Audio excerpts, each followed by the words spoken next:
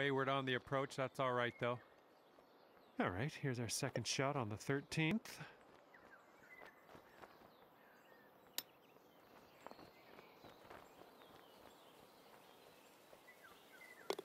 Oh, I don't know how you guys do it out there, dropping shots like that. Just uh, uh, fun to watch. And let's take one more look at that.